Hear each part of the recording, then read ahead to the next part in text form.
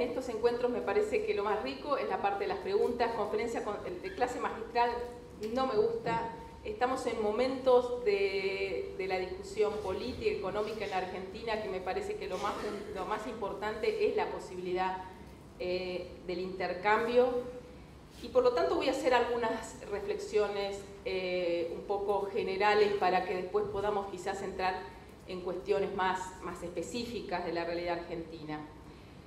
Y me, y me parece que es, es útil eh, abordar la cuestión de la realidad argentina a partir de un contexto más, más global de la, de la, crisis que está viviendo el mundo, eh, de una crisis que si bien la crisis financiera internacional implosionó en el año 2008 en los países centrales, es una crisis bastante más profunda del capitalismo. Es una crisis que tiene que ver con una fase del capitalismo de los últimos más de 30 años, donde el factor que, lidera el crecimiento económico y que tracciona el crecimiento económico no es el trabajo, no es, no es, el obrero, no es el empleado, no es el trabajo motorizando el crecimiento, no es el trabajo generando riqueza, sino que es el capital aplicado a la valorización financiera el que genera riqueza. Y se da, y se da esta situación tan, cuando uno muestra el gráfico es más elocuente, donde uno advierte que todo lo que tiene que ver con la actividad productiva de los países sigue un proceso de virtual estancamiento y lo que se despega absolutamente es la generación de riqueza que a través de la especulación financiera que pasa a representar una, dos, tres, cuatro, hasta cinco veces lo que genera una economía y a nivel mundial las economías centrales en términos de producción de carne y hueso. Entonces, esta autonomización de lo que ocurre con la esfera productiva, que es lo que genera empleo, que es lo que genera progreso, que es lo que genera inclusión social, eh, se va despegando cada vez más de una concentración en manos de muy pocos que ganan más mucha plata, que son los que fijan las reglas para ganar más plata en la, la especulación financiera. Esto esto lleva más de 30 años y en la Argentina y en los países, en los países subdesarrollados ha tenido ciclos de, crisis recurrentes. En, los países centrales esa crisis de alguna manera se, pudo tapar por un tiempo porque la, disimularon con crédito. ¿sí? las familias y los obreros y los trabajadores ganaban menos, tenían, estaban menos sindicalizados, estaban más debilitados eh, pero tenían acceso al consumo a partir del crédito, del crédito y compraban una, dos casas, crédito muy barato. Bueno, en el 2008 eso se cayó como un castillo de naipes cuando empezó a subir la tasa de interés y se dieron cuenta que no podían pagar los créditos y que se había armado en realidad un esquema absolutamente insustentable y lo que, eh, y lo que apareció nuevamente en evidencia es que la contracara de la crisis financiera era una crisis de, la distribución del ingreso enorme. Era una, crisis que estaba vinculada al tema de la concentración del ingreso y eh, el estancamiento, eh, que todas las mejoras de productividad que genera el empleo no la captaban los trabajadores, sino que se iba a mayor concentración del ingreso. ¿Por qué digo todo esto? Porque esta situación que implosionó en el año 2008 y que todavía está vigente, porque los que ganaron con las políticas que salen a implementar los países centrales para salvar los bancos, ha, sido nuevamente la industria financiera. No han sido los trabajadores, no han sido aquellos que perdieron las casas, no han sido aquellos que perdieron el trabajo con tasa de desocupación enorme en los países centrales, sino que vuelve a ser nuevamente el, negocio financiero. Eh, eso es lo que sigue vigente y por eso es que esta crisis internacional no se ve la, punta del ovillo cuándo va a terminar. Vemos países como los europeos en situaciones límites, como ciertas economías que les están planteando políticas de ajuste, de austeridad, que lo que hacen es empeorar aún más sus condiciones eh, críticas. Ahora, tomemos el caso de la Argentina. Yo les, comento, a mí me pidieron que, que escribiera un capítulo para un libro que están sacando sobre 12 años del kirchnerismo de la parte económica. Y la verdad es que le doy vueltas y le doy vueltas y le doy vueltas y a la luz de lo que nos gobierna hoy en la Argentina, creo que si uno tuviera que eh, plantear y reivindicar una sola cosa, es la capacidad que tuvieron tanto Néstor como Cristina, que durante 12 años le pusieron un paréntesis a este proceso de valorización financiera. ¿Qué quiere decir esto? Le pusieron un paréntesis, porque ese paréntesis ahora se ha abierto, pero porque hay que valorarlo más, porque lo hicieron a contrapelo, a contrapelo de la lógica que sigue dominando la economía mundial. Esto es muy importante tenerlo en cuenta. Cuando Néstor Kirchner en el año 2004, 2005, decide, por ejemplo, regular el ingreso de capitales especulativos en la Argentina, está dando una señal política fundamental, que es, en la Argentina nosotros queremos que ingresen capitales no para especular, sino para producir en la esfera real de la economía. Todas estas decisiones que tienen que ver con el control del ingreso de capitales especulativos que Argentina en soledad entre los países emergentes lo implementó. Ningún otro país de América Latina, por lo menos en ese entonces, se plantó frente a los capitales especulativos que querían venir a nuestros mercados porque tenían enormes ganancias. Y además eso fue de la mano del desendeudamiento. Y el desendeudamiento, el chavo al Fondo Monetario Internacional, pagar cash lo que se le debía, la reestructuración de la deuda, permitió que la Argentina durante muchos años fuera resolviendo una de las caras que tiene la restricción externa que condiciona las posibilidades de desarrollo de nuestros pueblos, de nuestras naciones. Y entonces ahí querría incorporar otra cosa. Primero, el mundo sigue con la lógica de valorización financiera, es una fase del capitalismo que lejos está de haberse acabado, sino que se está profundizando con las políticas monetarias que están haciendo los países centrales. Argentina durante 12 años planteó y con distintas decisiones un paréntesis para tratar de que la inversión y lo que viniera de afuera o lo que estaba adentro se orientara más a la producción y a la generación de riqueza que a la especulación financiera. Resolvió entonces una de las caras de la restricción externa. Y entonces ahí me voy a meter con la cuestión de la restricción externa. ¿La restricción externa qué es?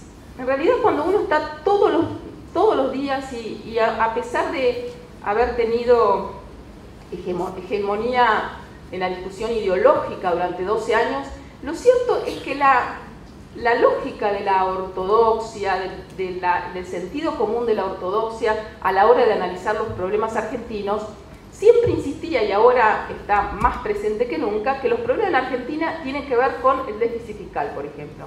Que el problema de la inflación en la Argentina tiene que ver con el déficit fiscal.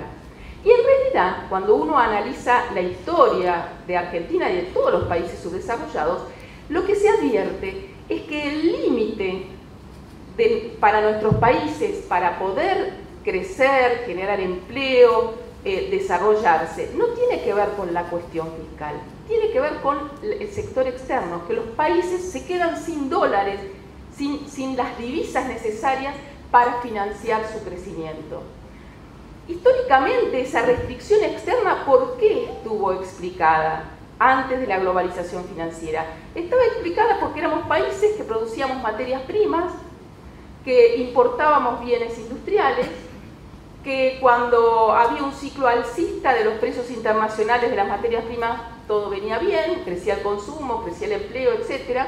Pero cuando se daba una, caída en los precios de, de los bienes que exportábamos, venía la crisis externa, las devaluaciones, la recesión y vuelta a empezar.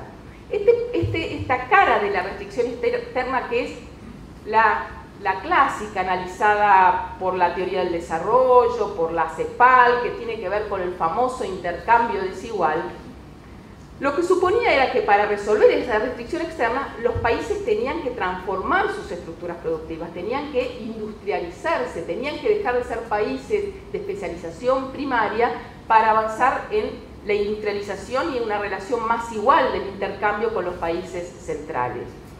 A ese problema estructural de la restricción externa, con la globalización financiera, se le suma, se le suma otro, este otro componente que le hacía referencia, que es el endeudamiento sin contrapartida, que las deudas empiezan a tener cada vez mayor peso en relación a la riqueza que generaban por estos procesos de endeudamiento que trajo el, neoliberalismo, y también el ingreso de estos capitales especulativos que entraban, se valorizaban y salían, salían y generaban perturbaciones enormes en, nuestra economía. Quizás el dato más elocuente fueron los años 90, con lo que fue la, la crisis de la convertibilidad, pero también en los 80, uno cuando recuerda las principales restricciones que tuvo el gobierno democrático de, de Alfonsín, tenía que ver con el peso de la deuda.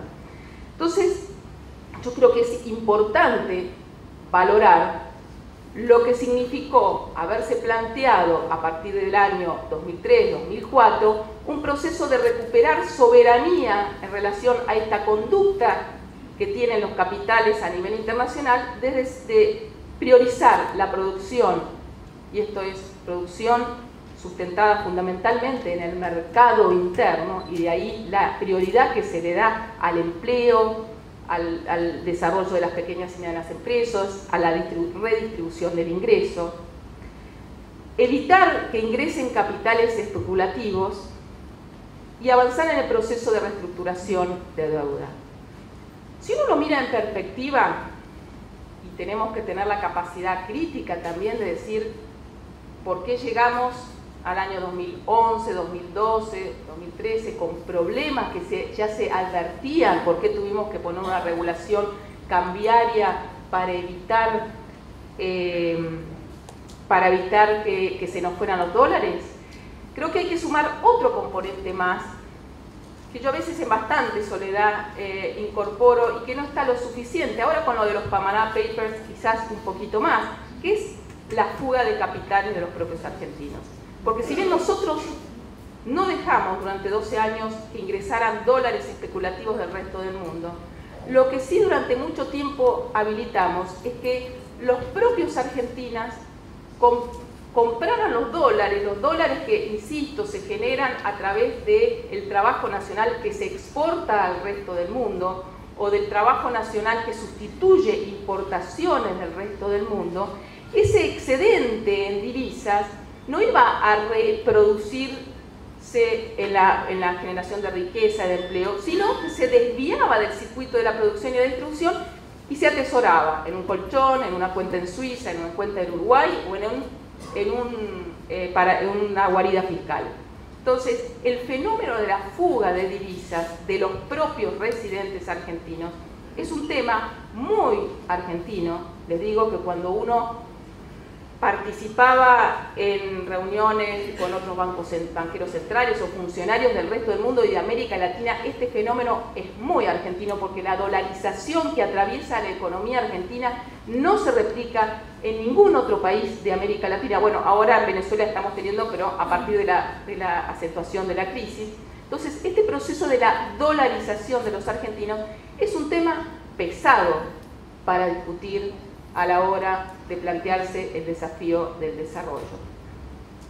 Y decía que mirado críticamente, autocríticamente, creo que nosotros no anticipamos como deberíamos haber anticipado que este ciclo de los precios internacionales iba a llegar en algún momento a su fin y que la Argentina no llegó, no, aprovechó ese ciclo alcista para transformar más de fondo el proceso, la estructura productiva argentina.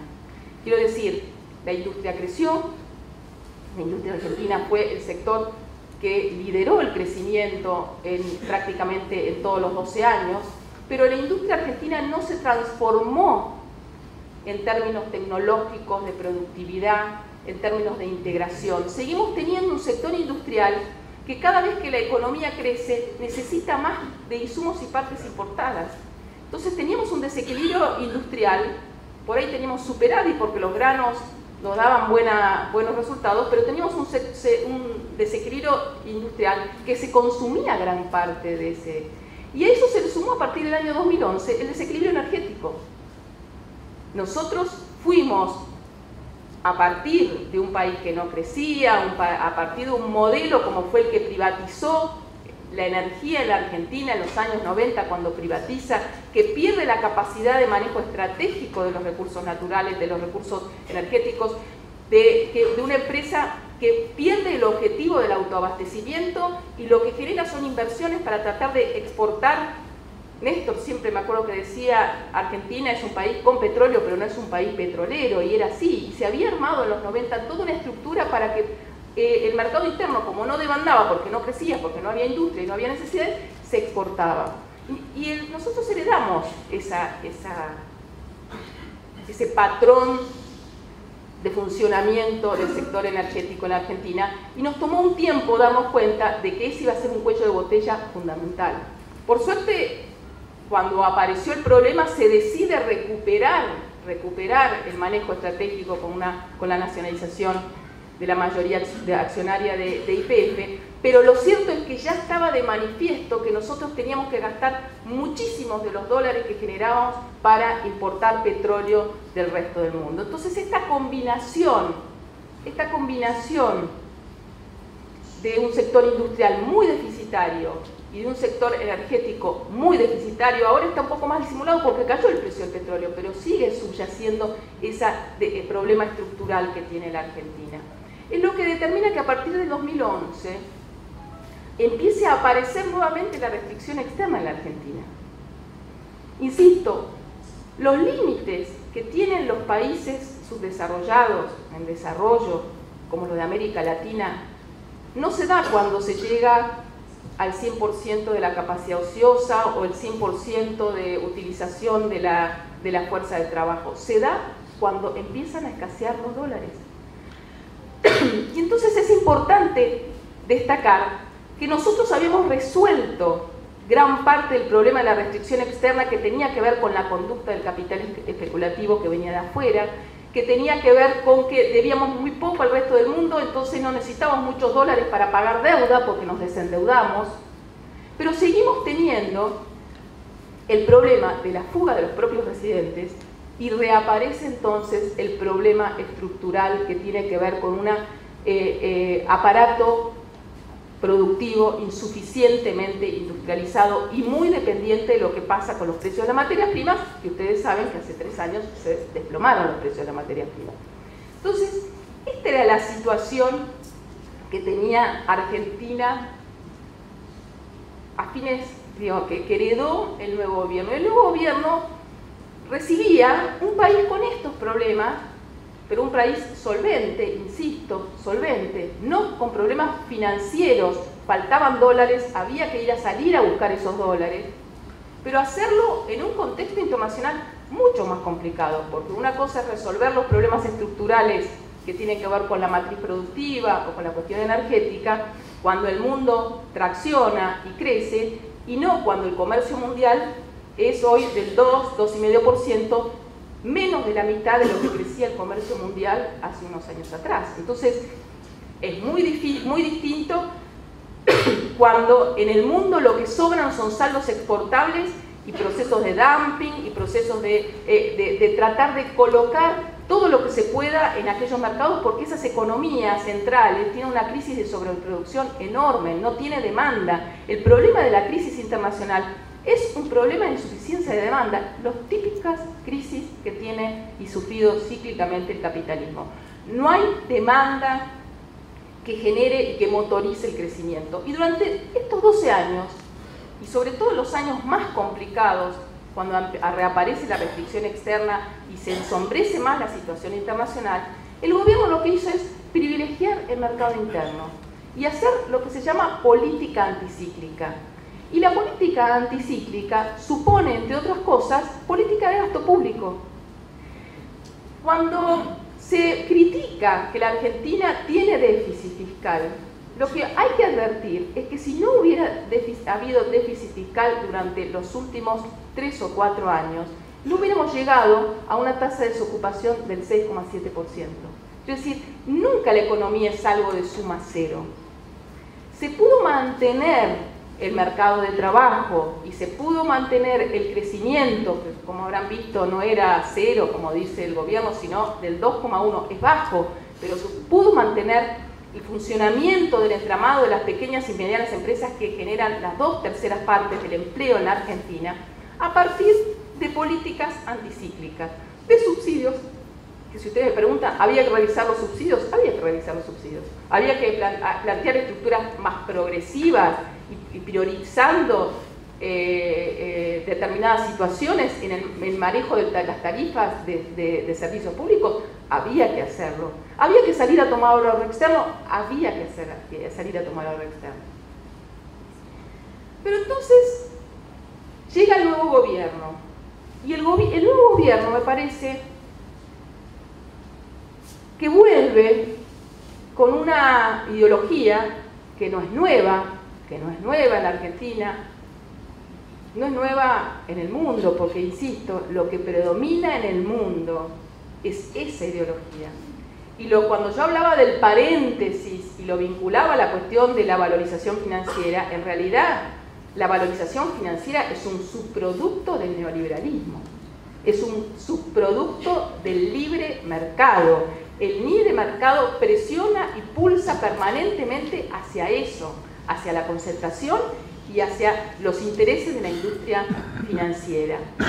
Y este gobierno llega a partir de un diagnóstico, y el diagnóstico es, el problema es el cepo, el problema de la inflación es el déficit fiscal, el problema es que no estamos insertos en el mundo porque, porque no resolvemos el conflicto buitre, vamos, y entre otros errores no menores, no va a haber inflación si nosotros flexibilizamos, liberamos el tipo de cambio, porque ya todos los precios estaban ajustados al dólar ilegal.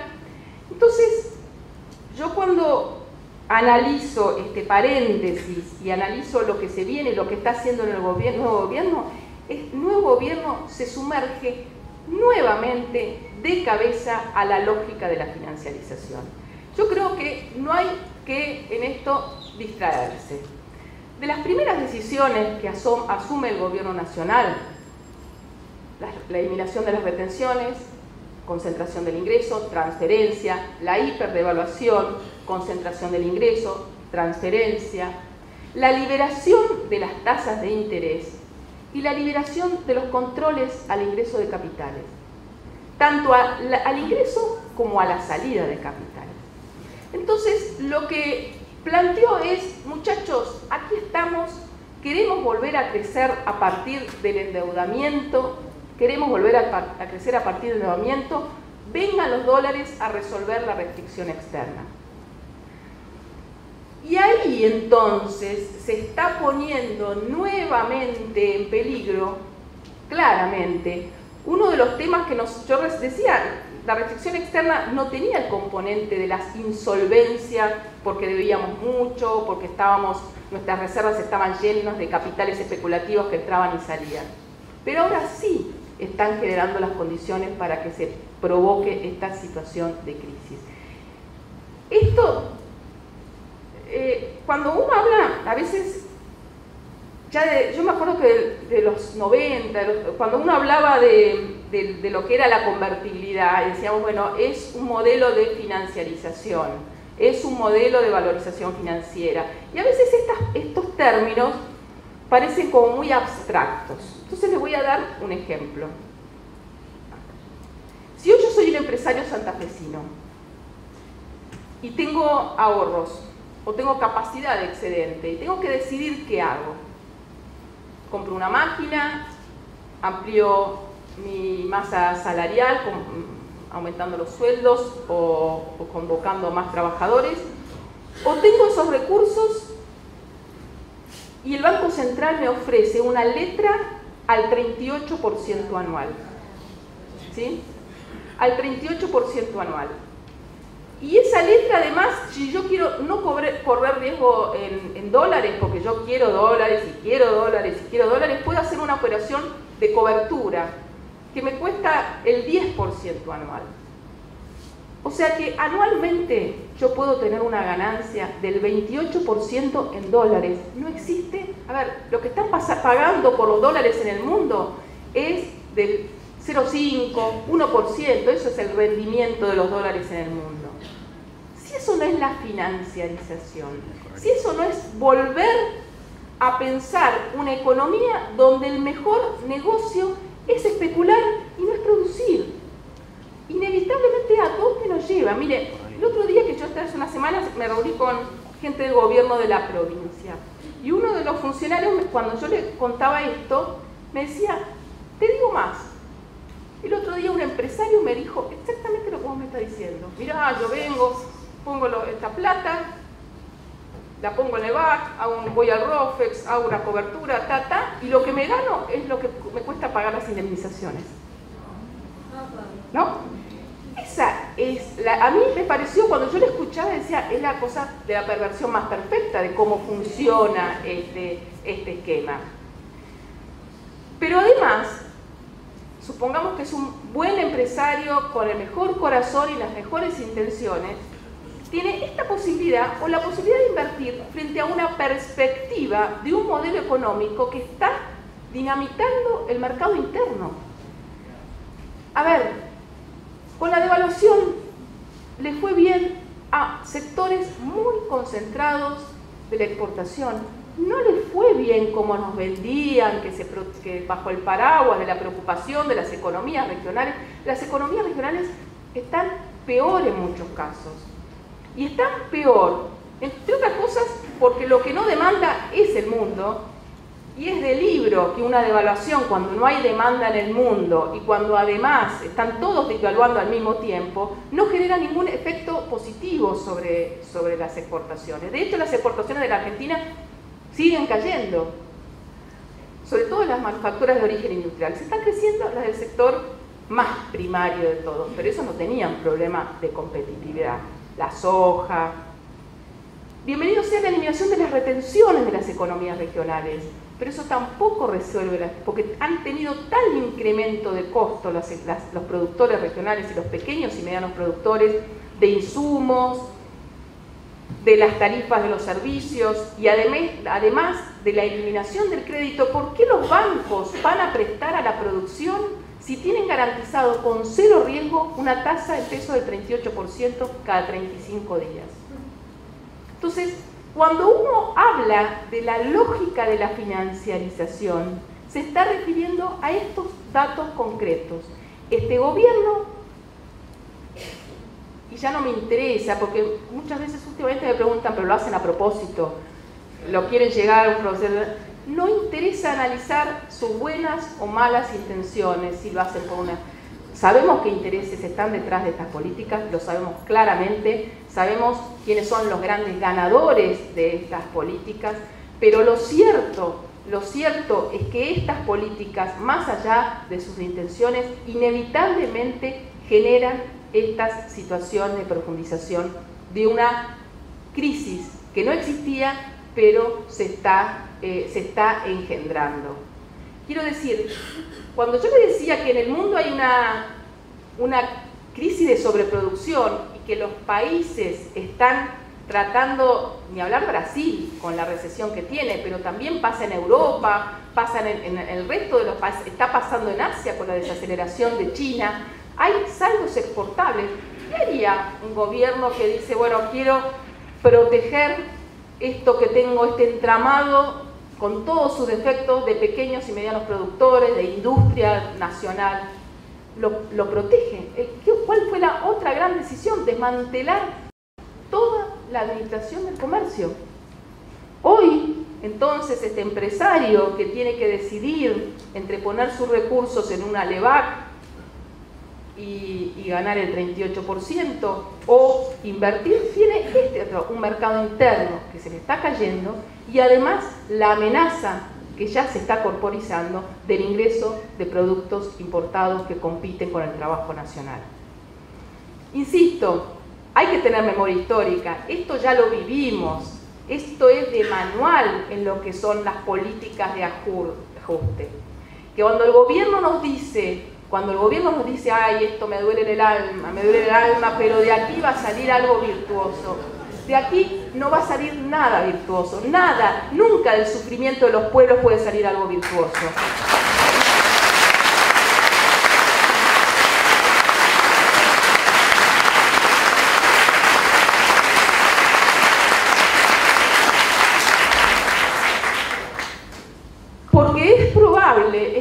Ellos están haciendo todo el shock de ajuste ahora, tarifazo ahora, y que después en el segundo semestre se produzca una caída de la inflación. Y yo creo que va a haber una caída de la inflación, pero la caída es la paz del cementerio nuevamente. Es la paz del cementerio. Con un agravante, con un agravante. También ellos están especulando que esta desaceleración de la inflación y la maduración de las paritarias y la mejora que podría haber en aquellos que todavía tienen empleo ¿sí? en el sector privado y en el sector público de capacidad de consumo, lo más probable es que se filtre a favor de las importaciones. Quiero, hay que ver datos. Veamos lo que está pasando en la industria automotriz. Aumentaron bastante las ventas cayó la producción y cuando uno mira por qué aumentaron las ventas, son todo, eh, lo que aumentó son los, autos importados. Los autos nacionales cayeron, aumentaron el 2%, de 30 y pico los extranjeros. Es decir, esto está de nuevo presente en la realidad económica. Y lo que da muchísima impotencia, bronca, es que nada de esto era necesario. Quiero decir, esto también tengámoslo en cuenta. Porque el discurso, el relato que tratan de hacer, instalar, creo que el pueblo no come vidrio y se está dando cuenta que, eh, que, esta es decisión política del nuevo gobierno de generar estas, estas consecuencias. Nada de lo que están haciendo era una inevitable, una resultante de lo que heredaron. No era necesario para nada la liberación cambiaria. De hecho, ¿estamos mejor con esta, este dólar? No, no estamos mejor. ¿Exportamos más? No, no exportamos más. ¿Las economías regionales están mejor? No, no están mejor. ¿Las industrias las eh, que, exportan están mejor? No, no están mejor. Liberamos el cepo. El Banco Central ha desmantelado todo. Y con todos, con todos los defectos, y acá voy a hacer una digresión. En realidad el famoso cepo, que sabemos que es algo que no puede perpetuarse en el tiempo, que hay que resolver la cuestión estructural de la insuficiencia de dólares, fue eso, fue administrar la escasez. Y administrar la escasez, entre otras cosas, suponía privilegiar los usos productivos de los dólares. El atesoramiento, el ahorro, el colchón, no es un uso productivo. Y lo, que primero que hace es volver a decir, bueno, cualquier argentino puede comprar hasta 24 millones de dólares por año o 2 millones. No, no, hay datos oficiales porque no los están dando, antes los conocían. Este apagón estadístico supone que, entre otras cosas, no sabemos cuál es la fuga de los, próximos, de los propios argentinos. Pero ronda más o menos 4 mil millones de dólares. O sea, que nos faltan dólares nos estamos endeudando porque el Banco Central se endeudó con un préstamo de corto plazo, porque la provincia de Buenos Aires se endeudó en 1.200 millones de dólares, porque IPF se endeudó en 1.000 millones de dólares y las reservas no aumentan. ¿Por qué? Porque se están fugando. Entonces, cuando uno habla de esta lógica terrible del endeudamiento sin contrapartida, se refiere a esto, al endeudamiento que no tiene que ver con ampliar la capacidad de repago futura de ese endeudamiento, por ampliar la capacidad de generar dólares o de sustituir importaciones o de hacer una obra de infraestructura, sino básicamente, básicamente para, eh, para garantizar la fuga. Miren, y yo lo miro, lo miro críticamente también de por qué no lo anticipamos desde lo que yo fui parte de me siento privilegiada de haber sido parte de ese gobierno. Pero la fuga de divisas durante todo el periodo kirchnerista en términos de producto fue igual a la que tuvimos durante la convertibilidad. Este es un fenómeno muy profundo que tiene la economía argentina. No es cierto que la fuga de divisas se da porque hay inflación y porque entonces como la gente no... No, en la convertibilidad había deflación, no había inflación. Y la fuga de divisas significó tres puntos del producto en promedio año por año. Y este, y este, eh, el nuevo gobierno se plantea, se plantea, y ahí la ideología creo que la ideología y los intereses que están, porque sabemos que las ideas de la económica siempre hay intereses, nunca son neutros, siempre hay ganadores y perdedores. Acá nuevamente, nuevamente, clara y inevitablemente, las, estas ideas van a favor de concentrar de los ganadores en este grupo tan, pero tan pequeño en la Argentina de los grandes exportadores, de las grandes empresas y ahora también de grandes empresas que se van a transformar en grandes importadoras. Entonces, uno puede plantearse, eh, bueno, ¿cómo, qué, pasa hacia adelante? Yo insisto, voy a también hacer una, una digresión. No es cierto que el déficit fiscal es de 7 puntos, yo los escucho y a veces a colegas míos eh, y compañeros míos no, se paralizan frente a este número. No es cierto, el déficit fiscal que se heredó este gobierno no es de 7 puntos del producto. Para llegar a ese dibujo de 7 puntos, lo que hizo fue quitarle un financiamiento genuino que tiene este Banco Central, este tesoro, el tesoro de los Estados Unidos y cualquier tesoro del mundo, que son las ganancias de su Banco Central. Las ganancias del Banco Central, por ejemplo, la Reserva Federal, el 100% de las ganancias de la Reserva Federal se la transfiere al Tesoro de los Estados Unidos. Y es parte de los ingresos fiscales. ¿Qué hizo Pratgay? Los eliminó. Dijo, no, esto no es ingreso fiscal. Y por lo tanto aumentó dos puntos y medio el déficit, simplemente con ese artilugio contable. Entonces, también sepámoslo, no es que hayan heredado una situación de incendio en materia fiscal un desequilibrio que está más cercano al 3%, menos de lo que tiene el conjunto de América Latina. ¿Había que salir a buscar financiamiento y financiamiento genuino? Claramente, pero la prioridad es achicar ese déficit del 3%, no. En una economía con recesión mundial, como la que se está viviendo, lo peor es plantear políticas de achicamiento del déficit fiscal. De hecho, lo que le están recomendando encarecidamente a muchos de los países eh, de, centrales que no sigan haciendo tasa cero y mm, políticas de expansión de liquidez, sino que aumenten el gasto público para generar demanda. Lo que se requiere es proteger y generar más demanda. Y la política de ajuste que está provocando este, estas, todas estas decisiones están, insisto, achicando la demanda. No hay ni una, ni una decisión de política económica que uno pueda eh, encontrar en los últimos meses que muestren o que indiquen que va a haber alguna fuente de crecimiento en la Argentina. La inversión pública, con este afán de reducir el déficit fiscal, cayó un 30%. Y las economías del interior lo están sintiendo y seriamente esta desactivación el otro día cuando me junté con los, con los empresarios de Santa Fe, me llamó la atención porque había un representante de Hacienda, la Hacienda está en problemas acá. Y cuando él explicaba, bueno, está la situación de Brasil y ta, ta, ta, y le digo, pero tengo una pregunta, ¿cuánto, es exportación y cuánto es mercado interno? Me dijo, 60% mercado interno. ¿Cuánto es obra pública? Y el procrear el procrear nos permitió vender y subsistir y crecer durante todos estos años. Entonces, el problema no es Brasil, el problema sustancial. El problema sustancial es que el gobierno ha dejado de invertir en infraestructura, ha dejado de invertir en un programa como el Procrear, que resolvía no solamente la cuestión de la vivienda de numerosos sectores de la población, pero también tenía un rol muy dinamizador del conjunto del entramado eh, productivo industrial de la Argentina. Entonces, la verdad es que es como para estar preocupado. Y, si, si, me preguntan, y si me preguntan ¿Cuál es, eh, cuál es la, eh, cómo, cómo, se aborda esta, esta realidad? Lo importante en, que este tipo de encuentros es tener la posibilidad quizás de clarificar algunas cuestiones que todos los días nos, en los medios nos tratan de instalar como, hoy el relato oficial, como la fuente de los problemas económicos de la Argentina.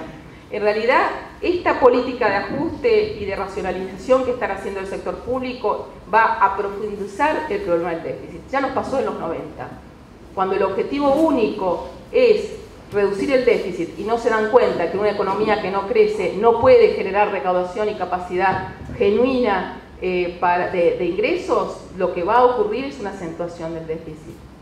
Y lo que está planteando el gobierno nacional es que ese déficit, en vez de financiarse como se hizo en gran parte durante todos estos años con crédito dentro del sector público, ¿sí? adelantos transitorios del Banco Central, que por ley están permitidos, transferencia de utilidades del Banco Central o del ANSES, van a salir a financiar ese déficit con deuda.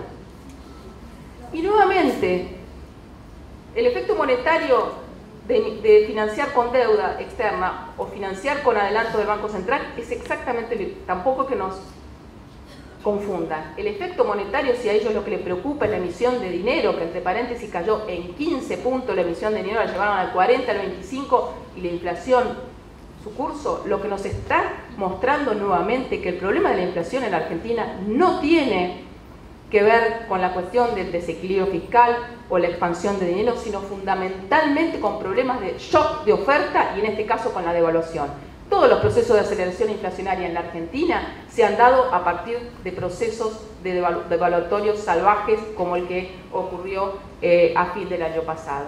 Entonces, los problemas, el, problema fiscal se va a acentuar, pero se va a financiar con, con deuda externa, con deuda externa que va a suponer un tema de solvencia, pero también, y en esto sí creo que no hay que ser ingenuo, con enormes, enormes, enormes beneficios y suculentas comisiones para los bancos colocadores de deuda. Quiero decir, nuevamente, como está ocurriendo a escala mundial y como nosotros nos pudimos aislar durante 12 años de esa lógica, nuevamente el gran ganador es la industria financiera de la Argentina. Y cuando hablo de industria financiera, no me refiero solamente a los bancos, me refiero a gran parte del empresario argentino que su excedente en vez de colocarlo en la producción lo coloca eh, en, en la valorización financiera. Entonces, este es el modelo que han parido. Este es un modelo que, a mi juicio, como ya se viene manifestando, peca de errores de diagnósticos profundos. Apostaron a que sus supuestos aliados le iban, los iban a acompañar. Apostaron que los, en tres semanas iban a liquidar 6 mil millones de dólares. Apostaron a que los formadores de precios no iban a ajustar los precios con la devaluación. Apostaron que en tres semanas o cuatro semanas iban a entrar 25 mil millones de dólares. Los formadores de precios le dijeron, minga que voy a retratar los precios a noviembre los, los productores sojeros y los grandes exportadores, ojo, los grandes exportadores se tomaron casi tres meses en liquidar los 6 mil millones de dólares. Eh, mientras tanto pulsearon y llevaron el dólar a 16 con un nuevo shock inflacionario. Los capitales no llegaron, sino que se están yendo. Se fueron, hasta el momento se, han ido. Entonces, la pregunta del millón es si eh, realmente están en condiciones de dar continuidad a esta política con condiciones internacionales que no parecen ser las más favorables. Fueron a Davos, fueron a Davos y yo pensé, bueno, van a venir a, de Davos con un menú de inversiones y de compromiso de inversiones. No trajeron nada. Le sacaron las retenciones a las mineras.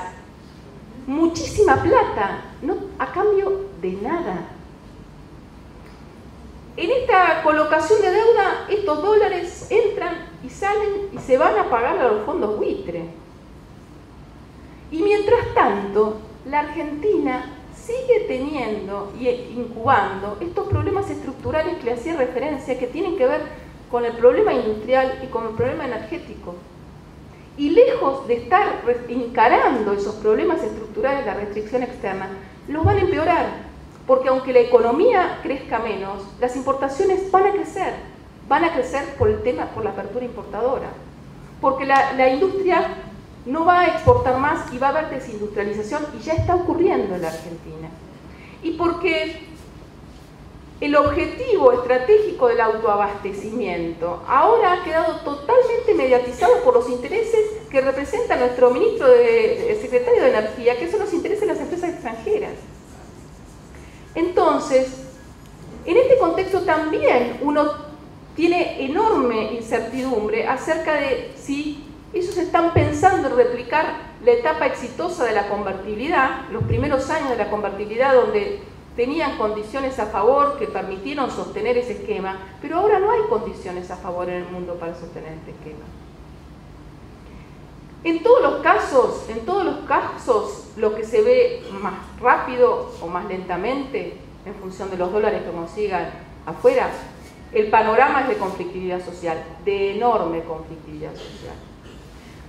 Y por lo tanto, y por lo tanto me parece que, la obligación que tenemos todos, como cada uno como un dirigente que nos han empoderado, es de plantear que esta conflictividad social, para que no genere situaciones de caos o de no salidas virtuosas, tiene que organizarse políticamente. Me parece que, que uno lo que frente a mí la impotencia que me da ver los datos de la realidad, ver todos los días cómo están tomando decisiones que desandan lo construido con todas las imperfecciones, lo construido durante todos estos años, es el trabajo de la organización y la confrontación y tratar de que de alguna manera evitar tanto daño que eh, se está haciendo todos los días, todos los días lo vemos en la desactivación de Atucha, en la desactivación de fabricaciones militares, en decir que no van a construir más el ARSAT, en lo que va a significar eso nuevamente de fuga de cerebros de científicos que nos costó tanto, tanto tiempo. A ver, si había algo que tenía que ser una política de Estado que se suponía que nadie tenía que cuestionar, era la política científico-tecnológica. Y la política científico-tecnológica la están desmantelando porque no se dan cuenta que un país no puede tener desarrollo tecnológico si no tiene un Estado fuerte que traccione el desarrollo científico-tecnológico. Que los privados no invierten, no invierten, tiene que tener, el Estado tiene que asumir ese rol. Entonces, y para terminar, y para terminar estas pálidas de sábado a la mañana, eh, simplemente, compañeros, lo que yo quiero transmitir es la preocupación. Creo que tenemos que tener eh, la claridad conceptual y política para darnos cuenta qué es lo que se está jugando nuevamente y tener esta capacidad para para hablar con, los amigos, con los compañeros de trabajo y todo, y, discutir, porque todavía hay un enorme voluntarismo, esta cosa de esto es un saque que nos dan ahora, pero de aquí va a salir algo mejor. No, entonces eh, no, no puede salir algo mejor. Todo está planteado unilateralmente. Quemaron las naves. Yo creo que quemaron las naves y después se dieron cuenta de que las cosas no estaban funcionando y salieron rápido a arreglar con los fondos buitre. De ahí el apuro que tuvieron para, llegar a este acuerdo, con los terrible acuerdo de concesiones y de, de, pérdida de dignidad nacional que supuso este acuerdo buitre. Pero el problema no, no es solamente lo que significa como precedente como, o los tres puntos de producto más que vamos a tener que gastar para pagar los buitres. Lo que el problema es la puerta que este, esta cancelación de deuda nos abre para sumergirnos nuevamente en los mercados financieros internacionales. Insisto, mercados financieros internacionales que nadie puede, que hay que ser prudente, nadie puede pronosticar que nos lluevan los dólares. Puede ser que transitoriamente durante los próximos seis meses, que van a entrar los dólares de la soja, que va a haber una cosa así de aprovechar este 38% de tasa de interés, haya alguna, alguna burbuja pero lo cierto es que las condiciones objetivas de la Argentina indican que vamos a empezar a tener problemas nuevamente de solvencia. Entonces, claramente la restricción externa, la restricción externa que había reaparecido por cuestiones más estructurales, ahora se le suman todos los factores más perversos que tienen que ver con el endeudamiento eh, y con la fuga. Desde el punto de vista de cada uno de nosotros, lo que nos queda es hacer trabajo político, discutir, confrontar, eh, persuadir eh, y bueno, y tratar de que, de que la relación de fuerzas políticas eh, en los próximos meses y años, bueno, podamos recuperar un proyecto de naturaleza nacional y popular la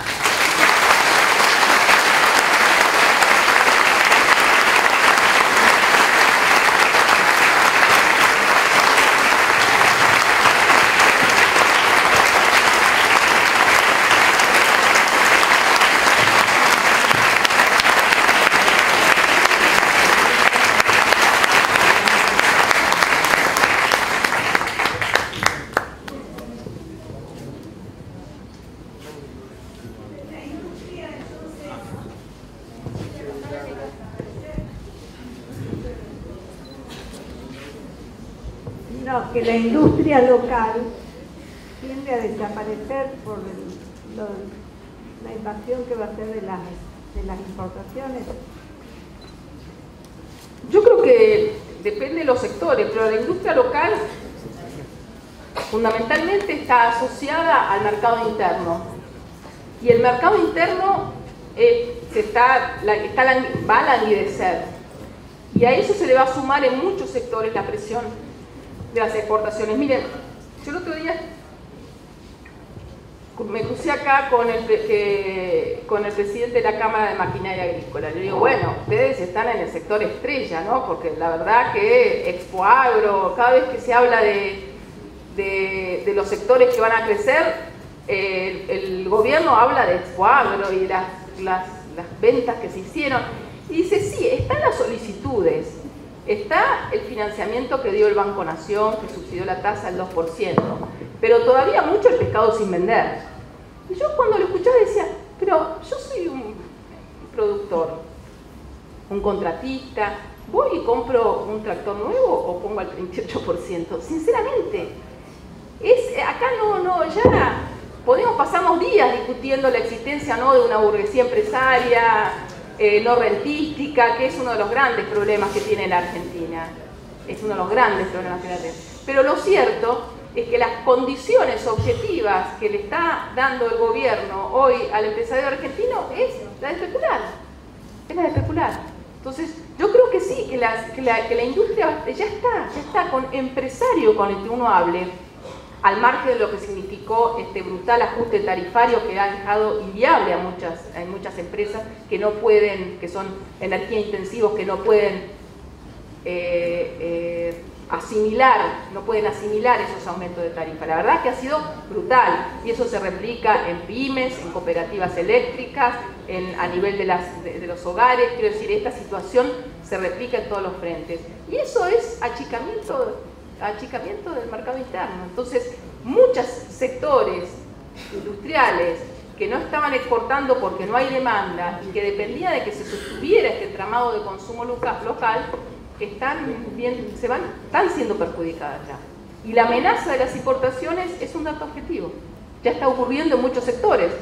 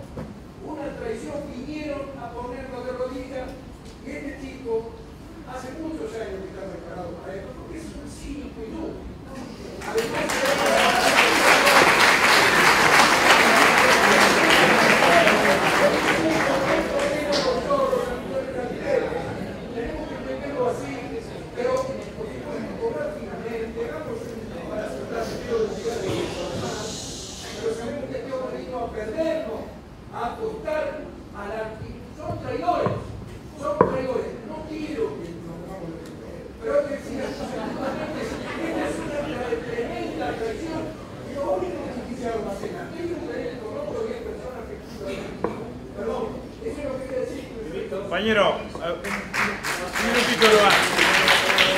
Mercedes tiene 15 minutos más, así que yo lo que le pediría a los compañeros que hagan uso de la palabra, que pregunten. Entonces la escuchamos todos a Mercedes, después siempre Perdón. No lo digan porque la van a vender si la escuchan la corona. Eh, Mercedes, ante todo, perdón, eh, gracias porque realmente fuiste muy, muy demagógica para los... Muy, perdón. Fue peor que el curso de Macri. Fuiste muy eh, explicativa, realmente para los que estamos en el llano. y No conocemos de economía, nos clarificaste muy bien algunas cosas. La pregunta mía es sobre un tema que está muy, muy de ahora, que es el tema del dólar futuro. Más allá de que en cualquier manual de introducción al derecho los actos de gobierno no son judiciables, están fuera de toda discusión, la pregunta mía es, técnicamente, el responsable de la devaluación es el gobierno nuevo. ¿Tenía posibilidades de aguantar un poco o no hacer tan brusca la devaluación como para no estar pagando el costo de, la diferencia que hubo en el dólar a futuro? Absolutamente, absolutamente. Por eso yo decía, ninguna de las decisiones que adoptaron en términos de aumento de tarifa o de evaluación eran. Perfectamente podía seguir, pero a ver, no está en la cabeza, porque ellos ya lo habían anticipado. Si bien cuando iban a los debates decían que no iban a devaluar, pero cuando decían, eh, el dólar en la economía, el oficial no existe, el de 9.50, todo se mueve con el ilegal. Esa es una barbaridad. El 99% de las operaciones en Argentina se hacía con el dólar oficial. El otro dólar, el ilegal, tiene una capacidad de psicopateo y de generar expectativas, y sobre todo si Clariste lo ponía en la tapa todos los días. Pero lo cierto es que era, era, era eh, inevitable que si vos liberabas el tipo de cambio, iba a ocurrir una devaluación, porque, porque había una demanda restringida. Yo, fijemos, con el dólar ahorro del, kirchnerismo, que yo, yo no estuve a, favor de volver a habilitar el dólar ahorro. Me hago cargo, no, no, estuve a favor porque se fueron 8 mil millones de dólares de dólar ahorro el año pasado. Pero era a cuentagotas. A cuentagotas se fueron 8 mil millones de dólares el año pasado, en 2015. Era sabido que cuando liberaran eso iba a haber una demanda eh, de, por dolarizar carteras, que fue lo que ocurrió se llevó el dólar a donde se llevó. Después eh, cayó, volvió a subir y empezó con esta libre flotación, que además fue parte de la, lógica del nuevo presidente del Banco Central, que es el Banco Central se aparta y deja que el mercado decida. El mercado decide, son 10 operadores, grandes exportadores agropecuarios, que son los que deciden la cotización del dólar. Ese es el mercado en la Argentina. Entonces, hasta que me parece que le había tirado la oreja, le había dicho, metete. Y ahí se metió e intervino cuando llegó el dólar, el daño estaba hecho porque el dólar había llegado al 16. Entonces, en una economía dolarizada como la Argentina, donde todo el proceso de formación de precios está dolarizado, es una locura dejar que sea el mercado el que defina. Cualquier empresario que tiene que decidir una inversión, definir los precios, etcétera, tiene que tener más o menos una orientación de qué va a pasar con el tipo de cambio, no puede ser el mercado. Entonces, contestando tu pregunta, perfectamente se podría haber seguido con un sendero de devaluaciones mucho, eh, quizás hasta acelerando las microdevaluaciones, pero no con esta liberación que era lo que habían prometido. A ver, yo creo que también ahora estamos en condiciones, porque el tema del cepo el tema del cepo entró, eh, entró mucho en, sectores que nunca habían comprado un dólar, pero era, eh, eh, logró una penetración muy fuerte, como era algo que te paralizaba la economía y que una vez que quitaras ese problema se iba a, como decían, a liberar las fuerzas productivas. Y ocurrió lo que ocurrió, la hiperdevaluación, la transferencia, el aumento de los costos, la fuga, y nadie está mejor, salvo un, muy, grupito muy pequeño después de esta liberación. No era necesario, quiero decir, este dólar a 15 no es un dólar de equilibrio. ¿Cuál es el dólar de equilibrio hoy? ¿Por qué 15? ¿Por qué no 10? ¿O por qué no 20? Quiero decir, el dólar, el dólar en un, de equilibrio, en un contexto, en un contexto de desequilibrio externo, puede ser 9 si estos muchachos dejan entrar dólares a lo que venga y el Banco Central no compra y, se aprecia, pero se, aprecia artificialmente porque el Banco Central se retira de su función de sostener el tipo de cambio. O sea que el, tipo de cambio que, eh, que ellos trataron de instalar como el tipo de cambio de equilibrio eh, no era ni 15, ni 13, ni 16. El tipo de cambio de equilibrio, cuando uno lo discute en realidad teóricamente, es el tipo de cambio que habilita la industrialización. ¿sí? Eh, y de ahí, que es una discusión mucho más compleja, a lo mejor el de 9 y medio era demasiado barato, había que encarecerlo un poquito, a lo mejor sí, a lo mejor había que desdoblar el mercado. Quiero decir, estas son discusiones que pasaron a ser abstractas. Pero lo cierto es que nada indicaba que esta devaluación iba a, eh, llevar al dólar un tipo de cambio de equilibrio que iba a beneficiar al conjunto de, los argentinos. O sea que, tomando lo que vos decís, efectivamente, efectivamente, el problema no fue del Banco Central que dijo, que definió un sendero del tipo de cambio diciendo, miren, nosotros pensamos que el tipo de cambio va a seguir con estas microdevaluaciones y que a fin del año 2015 eh, va a estar a 10,5 porque no creemos que haya que devaluar porque no va a resolver ningún problema y se asume Scioli, que ya lo había dicho, y van a seguir con este proceso de microdevaluaciones. El problema son los que llegaron después, los que llegaron después y devaluar. Pero te digo más, el Banco Central está gastando el doble de lo que nos costó eh, eh, lo de los dólares futuros, el doble con estas tasas de vaca al 38%. Yo quería eh, hacer una pregunta acá. Quería, como la idea de llevarnos también elementos para argumentar y una de las muletillas que más se escucha por todos los economistas y después repetidas a todos por cualquiera a boca de ganso es la cuestión del déficit fiscal. Quería que me profundices un poquito más por qué no es del 7% como dicen y expliques eh, lo del concepto de ingresos fiscales que Pratgay decidió no incorporar para obtener ese número. Que puedas profundizar un poquito más sobre esto. Mira, el, gobierno el mes pasado sacó los datos del sector público y eh, los números indican, los números oficiales del gobierno de Macri indican que el déficit fiscal es 5,4 puntos del producto, o sea que de 5,4 a 7 sigue repitiendo 7, pero los datos oficiales son 5,4%. ¿sí? Esto es bueno saberlo. No es el 7, si dicen es el 7% de un incendio, no, no era el 7. Ustedes están diciendo que es el 5,4%. ¿Cómo llegan a ese 5,4%? Hacen dos cosas. Por un lado, no computan como ingreso corriente. Yo estoy tan obsesionada con eso que hice a ver tomar los datos de la Reserva Federal de cuáles habían sido las ganancias, a dónde habían ido las ganancias y cómo habían incorporado en el, en el Treasury de los Estados Unidos. Y efectivamente, todas las ganancias que generó la Reserva Federal, como todas las ganancias que nosotros teníamos del Banco Central, se las transferíamos al Tesoro. Y eso supone un ingreso corriente. Por ejemplo, las, las reservas internacionales. Vos tenés los activos del Banco Central. Vos en los activos tenés reservas, tenés títulos de deuda.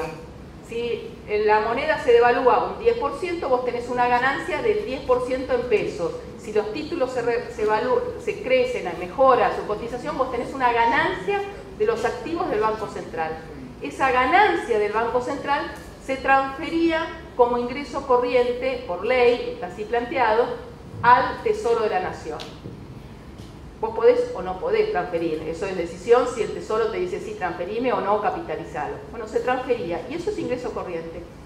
¿Qué hizo el gobierno? Esos ingresos corrientes dice, ah, no, eso no es un ingreso genuino, entonces lo sacamos. Son 2,4% del producto. O sea que ahí ya tenés que del 5,4 que ellos están diciendo que es el déficit, ellos, sus números, no el 7, ya tenés el 3%.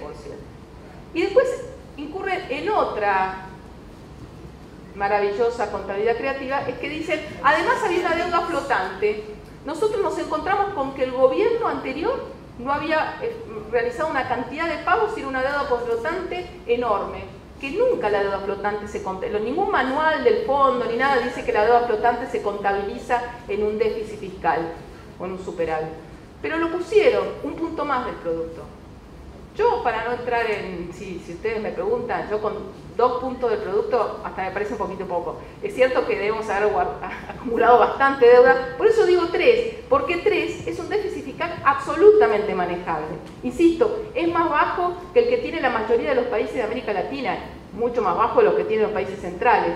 Entonces, no es terrible la situación que se heredó en materia fiscal, era manejable que teníamos que ver cómo encaramos el tema de las tarifas, la racionalización de las tarifas, de determinados subsidios, etcétera, había que hacerlo, pero no, no era una situación. Entonces, no heredamos un incendio en materia fiscal como tratan de instalar todos los días.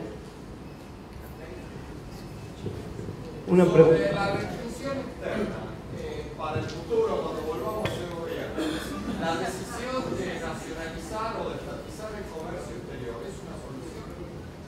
Yo creo que las discusiones que hay que dar, tiene que ver con formas de volver a garantizar el contralor de los ingresos de la exportación. Y nos hemos, nosotros, y creo que Agustín también en su campaña lo ha planteado muchas veces, en, buscar mecanismos modernos para eh, hacernos, como fue en su momento de la Junta de Granos, de un mecanismo que permita no solamente garantizar el ingreso de esos dólares, sino proteger a los pequeños y nuevos productores. Me parece que ese rol de los precios sostén, de que haya alguien que centralice las compras, eh, que, que, garantice rentabilidades a los sectores de medianos y pequeños productores, ese tipo de mecanismos que además se hacen, se, existen en Nueva Zelanda, existen en otros países desarrollados, nosotros los tenemos que volver a pensar de, seguro. A ver, eh, cuando volvamos a ser gobierno, vamos a tener que pensar el tema de la fuga. Vamos a tener que pensar y discutir entre todos el tema de esta dolarización que es tan, tan inconsistente con las posibilidades del desarrollo, eh, el endeudamiento sin contrapartida, el no autoabastecimiento energético, como seguir convalidando la fuga. Y además garantizamos que los dólares que nosotros generamos genuinamente a través de nuestras producciones, de nuestros productores, estén cuando los necesitamos. ¿sí? Entonces, efectivamente, yo creo que va a haber que pensar muchísimos otros mecanismos que van a contrapelo, ojo, a contrapelo también de lo que hoy es el saber convencional y lo que se está haciendo, aplicando en el conjunto de las políticas económicas. Una preguntita. Eh, ¿No tiene que ver con eso algo que no se dice que es una ley de entidades financieras? Que regule las ganancias de los bancos, que haya una, eh, un direccionamiento a los créditos, por ejemplo, créditos hipotecarios a la industria con tasas que favorezcan a la gente, porque en general los créditos siempre fueron caros. Eh, más que la ley de identidad financiera, yo insisto, la ley de identidad financiera la tenemos que cambiar porque es una ley de la dictadura. Pero el problema fundamental para hacer política activa y financiamiento no era la ley de identidad financiera, sino era la Carta Orgánica. Y la Carta Orgánica la cambiamos. Y la Carta Orgánica volvió a habilitar al Banco Central a orientar el crédito. Y volvió a garantizar al Banco Central fijar las tasas de interés. Ahora, estos muchachos esa parte del mandato del Banco Central lo han dejado a un lado y lo ha explicitado el presidente del Banco Central. Nosotros nos vamos a concentrar en la estabilidad monetaria nada más. Entonces, me parece, me parece que, y esto también tenerlo en cuenta para la discusión política, yo le escuchaba el otro día a la vicepresidenta de la Nación decir, ay, tenemos que arreglar con los fondos WITE porque tenemos un problema de crédito y no tenemos crédito. Yo la escuchaba y pensaba que eh, en los últimos pocos meses de gobierno han desactivado fuentes importantísimas de crédito. Desactivaron el inciso K, que obligaba a las aseguradoras a una parte de su cartera a prestarla a las economías regionales, a las pequeñas y medianas empresas, y era mucha plata. Le dijeron, no, no tienen más obligación de prestar, pueden salir a colocar en, en otro tipo de activos.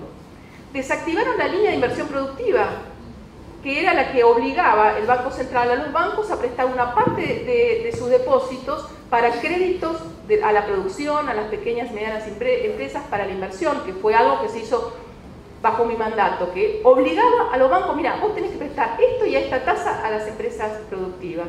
Lo desactivaron con algún artilugio de las resoluciones, pero lo desactivaron. Están desactivando el, régimen, el crédito intrasector público, ¿qué es esto? Los adelantos transitorios, que son fuente genuina de financiamiento del sector público, los están reduciendo al mínimo. Las transferencias de utilidades que, si bien están transfiriendo porque les aprieta el zapato, eh, lo cierto es que también las han reducido. O sea que financiamiento genuino se están autolimitando y por el otro lado dicen que van a salir, digo, de financiamiento genuino a tasa cero. Las utilidades es a tasa cero y, los adelantos transitorios son a tasa cero. Y van a salir a tomar deuda para financiar eso mismo, pero a tasa del 7-8% en dólares. Entonces, realmente son condiciones donde no es que no existiera crédito para la Argentina, ellos están cegando esa fuente de crédito que había que mejorarla, ampliarla, pero, pero bueno, nuevamente es el, el negocio financiero ese negocio, ¿por qué le van a prestar baratos las aseguradoras eh, a las economías regionales si en realidad podemos aplicar eso a, un bono, a una LEVAC o algo muchísimo más rentable? Eso es lógica. ¿Cómo ve la discusión de la inflación para los próximos meses? Bueno, todo indica que nosotros vamos a tener, seguir con un cimbronazo fuerte de precios en mayo, eh, bueno, ni hablar en abril con todo este impacto de los, tarifazos, y me, parece que poco la, especulación, porque va a haber una cierta paz cambiaria, me parece, en los próximos meses. Es estacionalmente una época del año donde cuatro o cinco meses no creo que haya, de hecho el, dólar se está, está bajando. Entonces, en ese contexto puede ser que en el segundo semestre eh, haya una desaceleración, desaceleración. No van a llegar al 25% ni por las tapas. Yo sigo pronosticando que la inflación este año va a estar más cerca del 35% que del 25%, que Pratt sigue insistiendo. No, no hay condiciones objetivas para que baje al 25%.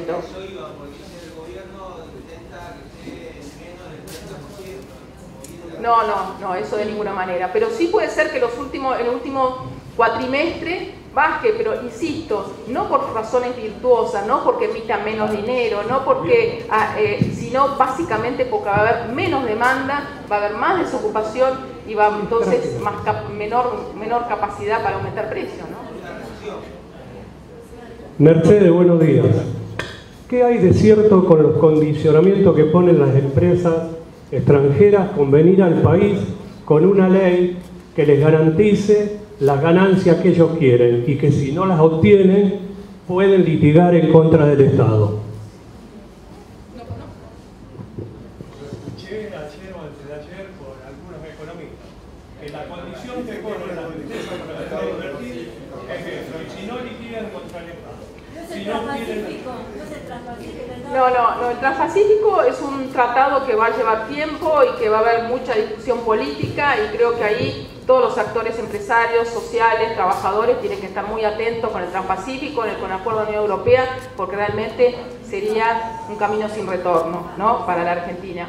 Pero yo lo que creo que están planteando las empresas extranjeras, que es otro problema, la extranjerización de la, la estructura productiva es un problema que también tenemos en, América Latina y en Argentina, es que les van a permitir transferir todas las utilidades al exterior. Y fíjense que es muy loco porque el Banco Central, si ahora van a empezar a ingresar dólares de la soja o van a ingresar, a ingresar dólares especulativos, yo, Banco Central, digo, bueno, me hago de esos dólares y acumulo reserva. No, no, está desesperado cómo hacer para no tener que comprar dólares y que lo demande otro. Entonces le está diciendo a las empresas extranjeras, todo lo que quieras transferir, transferilo. Le está diciendo a los importadores, saca resoluciones todas las semanas. Ahora le dice, ustedes quieren comprar un bien, pueden comprarlo un año anticipadamente, llévense los dólares ahora. O sea, que estamos en una situación muy, muy loca que, insisto, es de la torpeza de la ideología, porque, porque políticamente esto le, le supone una erosión importante. Al gobierno ya le está generando una erosión importante. Entonces, la desesperación por atraer inversión externa, yo no creo que cambien, no hay, no tienen gran libertad para cambiar la ley de inversiones extranjeras, sinceramente. Pero sí les están garantizando que van a poder, por ejemplo, los aportes de capital, ahora ya no los obligan a liquidarlos en el mercado de cambio, lo pueden tener en una cuenta. Y si cuando se quiere ir, se puede ir tranquilamente. Entonces, me parece que los están tratando de eh, de atraer a través de esta cosa que va a ser muy perturbadora porque sabemos cómo se comporta eso. Cuando se empieza a ir uno, se van todos, ¿no? Quedan acá Sí, yo quería hacer una pregunta. Eh, yo quería que me explique para tener la herramienta teórica para mí y salir a militar y discutir si estuvimos en default o no y si eh, el pago a los fondos buitres nos va a solucionar algo. Nosotros no, nosotros, el, gobierno de, kirchnerista sacó a la Argentina del default. Eso es lo más importante. Sacó a la Argentina del default. Y lo hizo con un nivel de aceptación del 93% de los acreedores. Quedó un conjunto de acreedores que no quiso entrar a la reestructuración, que eran los famosos holdouts, de los cuales, de esos holdouts, estaban los fondos buitres, que son estos perversos operadores, especuladores financieros internacionales. Ahora, lo cierto es que la Argentina con el 93% había salido del default, lo primero. Después ocurrió que vino en el año 2014 el juez Griesa con todas sus, sus novedades y metió tantas medidas cautelares que pidieron que los que habían entrado a ese 93% pudieran cobrar, les paralizó. Entonces algunos decían, volvió a estar en default técnico y nosotros siempre dijimos, no, nosotros seguimos pagando. Lo que ha habido es un bloqueo por parte de la justicia de los Estados Unidos para que los que tienen que cobrar puedan cobrar. Entonces, esto es, es, muy importante. Argentina planteó una propuesta de reestructuración, esa propuesta de reestructuración fue exitosa, quedó un porcentaje afuera, se le ofrecieron condiciones parecidas, bueno, se negoció con esos, pero eso era parte de los que habían quedado con deuda no reestructurada. Dentro de eso, los buitres. Entonces, no estábamos en default, había, algunos decían, insisto, default técnico porque los que tenían que cobrar no estaban pudiendo cobrar, pero eso no era por una decisión de la Argentina. Uno entra en default cuando hay una decisión deliberada de un país soberano, decir no te pago más. No, seguía pagando. Y a nosotros le decíamos, mira, te quiero pagar, vení y negocia con nosotros. Y estos muchachos, con este apuro que, les, hacía, que les señalaba recién, desde el primer momento la desesperación para normalizar la situación, que significa otra vez, a ver, a mí me, se me puso la carne de gallina, piel de gallina, cuando el otro día le escuché a Pratt en, la, en una universidad en Georgetown, en Washington, con toda su felicidad, diciendo, hemos vuelto. Dijo, en Argentina ha regresado es, es de ustedes que lo aprovechen. Es eso. Ha regresado, ha regresado lo que dice el compañero, ha regresado, han regresado estos intereses que son lo más perversos para, para los pueblos. Han regresado y están haciendo todo lo necesario y para eso entregaron esta, este acuerdo que era insostenible. Le dieron más de lo que pretendían los fondos buitres cuando negociaban con el kirchnerismo. Lo hicieron a las apuradas, pusieron un 14 de abril que era una fecha límite y que no era, metieron los, los, gastos eh, legales de, cuando nos, nos, nos, inmovilizaron la fragata Libertad. Era insostenible ese acuerdo, se hubiera podido mejorar, se hubiera podido mejorar con tiempo. Creo que había vocación por todos los bloques eh, de la oposición por mejorar ese acuerdo. Se hubiera podido mejorar porque había que resolver el problema de los buitres. Entonces, creo que, yendo a tu, a tu consulta, eh, no estábamos en default, estábamos pagando, pero esos recursos no estaban llegando a los tenedores de título, había que resolver eso y había ocasión para resolverlo, no de esta manera que lo resolvió el Gobierno Nacional. Bueno, muchas gracias a todos, compañeras, compañeros, muchísimas gracias.